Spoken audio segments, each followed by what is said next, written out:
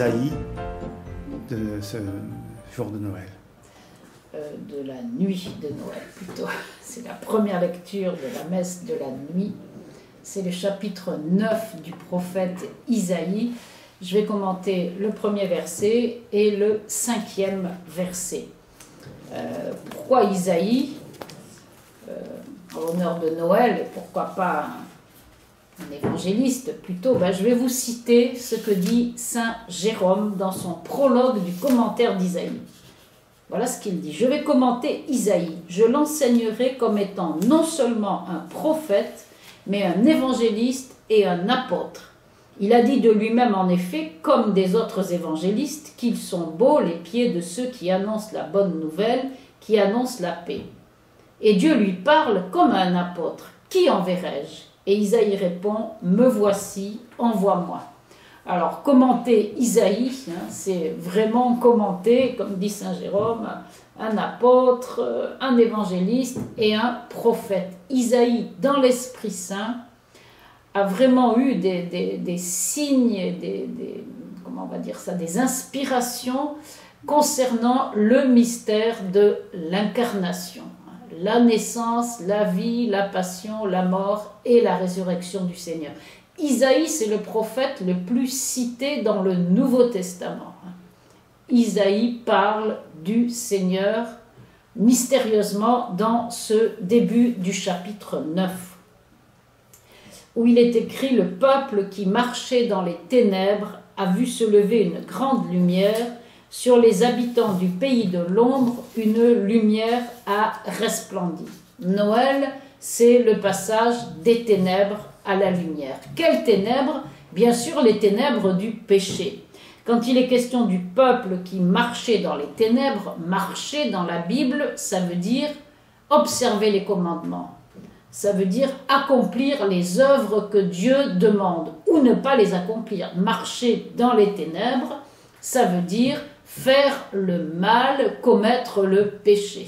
Et le peuple qui marchait dans les ténèbres, c'est le monde entier depuis le péché d'Adam. Le monde entier qui vit donc dans les ténèbres, dans l'obscurité, loin du Dieu de lumière. Alors les ténèbres, par exemple, le psaume 88 nous en parle en disant euh, Seigneur, connaît-on dans la ténèbre tes merveilles et ta justice au pays de l'oubli? Psaume 88, verset 13. Les ténèbres, c'est le lieu d'oubli on ne fait pas mémoire des merveilles du Seigneur et c'est un lieu sans louange. On ne connaît pas les merveilles du Seigneur sans mémoire, sans louange. Et Isaïe va nous préciser et sans compassion, sans amour du prochain. Comme il est dit au chapitre 58 du prophète Isaïe au verset 10, Si tu te prives pour l'affamer, si tu rassasies l'opprimé, ta lumière se lèvera dans les ténèbres et l'obscurité sera pour toi comme le milieu du jour. Les ténèbres ou la ténèbre, hein, c'est ne pas être dans la ténèbre, c'est ne pas vivre selon les deux commandements, l'amour de Dieu et l'amour du prochain. La grande lumière de Noël qui se lève, hein, c'est Dieu qui va nous rendre hein, la joie de savoir comment l'aimer, comment aimer son prochain. Alors, la, lumière, nous le savons, c'est le premier don de Dieu aux hommes. Hein. C'est ce qui est dit au livre de la Genèse, chapitre 1, verset 3. Dieu dit, la première parole de Dieu, c'est ça. Vayomer Elohim, Yehi Or. Dieu dit que la lumière soit et la lumière fut. Cette lumière de Dieu qui brille sur nous jusqu'à l'Apocalypse de la Genèse à l'Apocalypse, où il est dit, donc dans l'Apocalypse chapitre 22, verset 5, De nuit il n'y en aura plus. Ils se passeront de lampes ou de soleil pour s'éclairer, car le Seigneur Dieu répandra sur eux sa lumière et ils régneront pour les siècles des siècles. Cette lumière de Dieu est proposée à ceux qui veulent la recevoir. Et elle va être proposée d'une manière nouvelle au moment de la naissance du bien-aimé, du Seigneur Jésus. Alors, je, il est dit dans, le début du prophète du chapitre 9 d'Isaïe, euh, donc le peuple qui marchait dans les ténèbres a vu se lever une grande lumière, et sur les habitants du pays de l'ombre, une lumière a resplendi. Les habitants du pays de l'ombre, c'est ceux qui vivent comme s'ils étaient morts, c'est-à-dire qui vivent sous l'emprise de Satan. C'est la même expression qu'on trouve au psaume 23, le psaume Le Seigneur est mon berger, où il est dit au verset 4, hein, Si je vais dans la vallée de l'ombre de la mort, je ne crains aucun mal, car tu es près de moi. La vallée de l'ombre de la mort, les ténèbres ou la mort. Euh, quand le Seigneur Jésus envoie Saint Paul évangéliser, il lui dit pas convertis les gens, il leur dit fais-les passer des ténèbres à la lumière. Acte 26, 18. Je t'envoie donc pour leur ouvrir les yeux afin qu'elles reviennent des ténèbres à la lumière, de l'empire de Satan à Dieu. Voilà de quoi il est question dans le prophète Isaïe, qui annonce déjà la lumière du Seigneur. Ce texte d'Isaïe sera cité dans Saint Matthieu chapitre 4, verset 16, euh, pour euh, parler du début du ministère de Jésus en Galilée. Jésus en Galilée, c'est l'accomplissement de cet oracle du prophète Isaïe, nous dit Saint Matthieu, le peuple qui demeurait dans les ténèbres a vu une grande lumière, etc. Euh, Siméon, alors on va lire ça dans peu de temps, le vieillard Siméon, quand il voit l'enfant Jésus arriver au temple dans les bras de sa maman, chante ceci. Donc c'est dans Saint Luc chapitre 2 verset 32, Luc 2 32. En voyant l'enfant Jésus, il dit lumière pour éclairer les nations. Et Saint Jean, quand il parle du mystère de l'incarnation, au début, dans le prologue, Jean 1, 4, ce qui fut en lui était la vie, et la vie était la lumière des hommes, et la lumière brille dans les ténèbres. Donc ce, premier verset du, chapitre 9 du prophète Isaïe nous raconte ce que veut dire la lumière de Noël. Ensuite, je, vais passer au verset 5, où cette lumière, donc il est précisé que c'est un enfant qui nous est donné, et un enfant qui a des noms très bizarres, qui ne sont pas des noms qu'on va donner à un enfant, qui n'a que des noms divins. Il est dit que son nom est proclamé, comme s'il n'y en avait qu'un. Alors, il n'y en a qu'un parce que Saint Jean Chrysostome dit en fait, il n'y en a qu'un. C'est le développement du nom Jésus Sauveur. Qu'est-ce que ça veut dire Jésus Sauveur? Conseiller merveilleux, Dieu fort, Père à jamais, Prince de la paix. Alors, premièrement, il est appelé conseiller merveilleux. Le conseiller, dans la Bible, bien entendu, c'est Jésus qui nous conseille, euh, pardon, c'est Dieu qui nous conseille d'une manière prodigieuse, d'une manière miraculeuse. Comme il est dit par exemple au psaume 32, verset 8. Je t'instruirai, je t'apprendrai la route à suivre, les yeux sur toi, je serai ton conseil. Les yeux sur toi, je serai ton conseil. Conseiller merveilleux.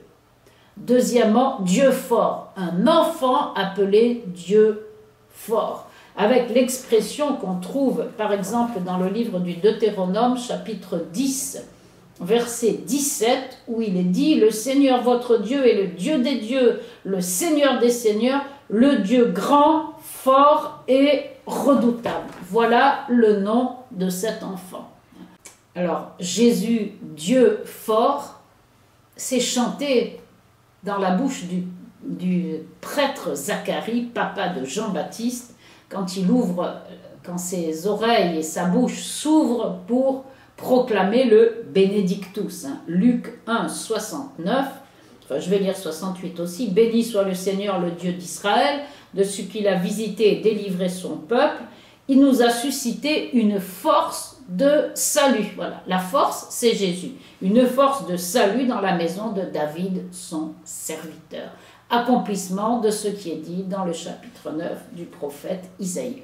Mais cette force et cette puissance attribué à un bébé qui vient de naître et qui en plus est appelé Dieu, va être précisé avec le, mystère de l'incarnation hein, et ce que Jésus nous enseigne sur la puissance de Dieu.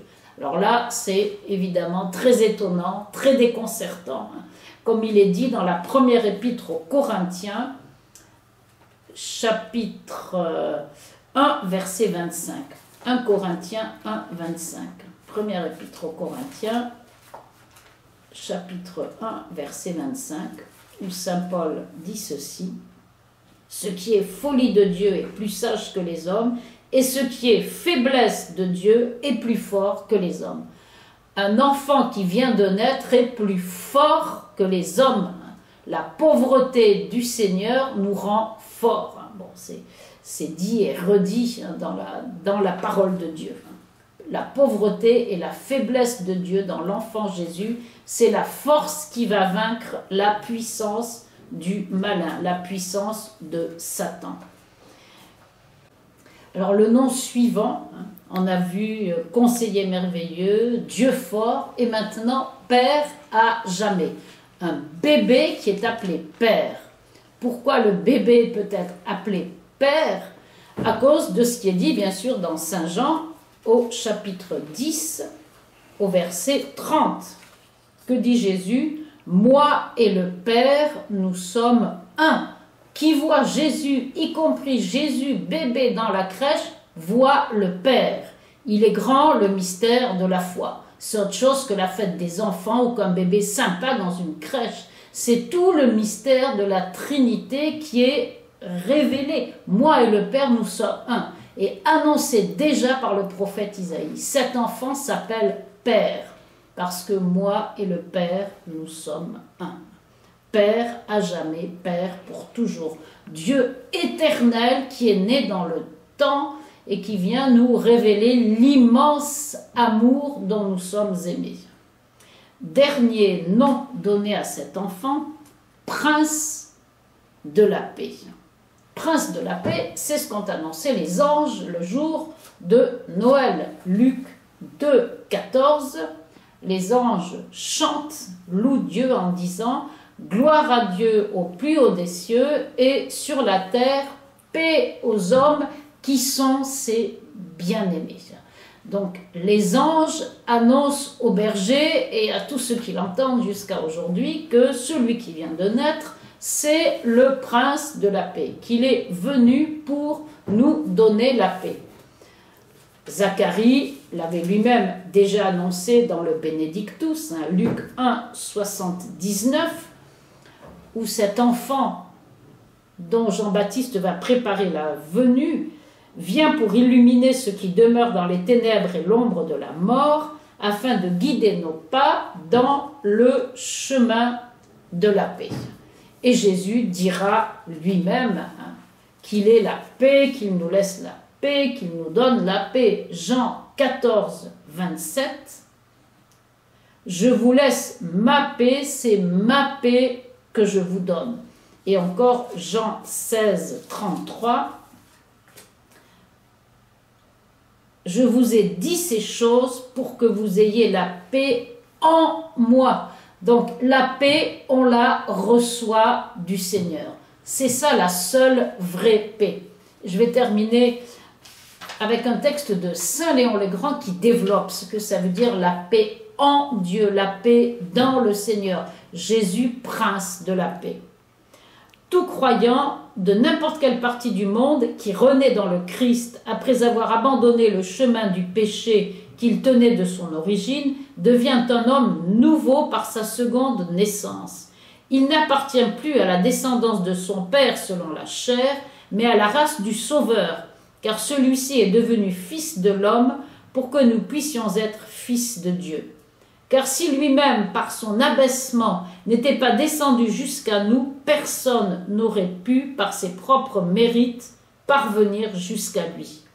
C'est la paix qui engendre les fils de Dieu, qui favorise l'amour, qui enfante l'unité, qui est le repos des bienheureux, la demeure de l'éternité. Son ouvrage propre son bienfait particulier, c'est d'unir à Dieu ceux qu'elle sépare du monde.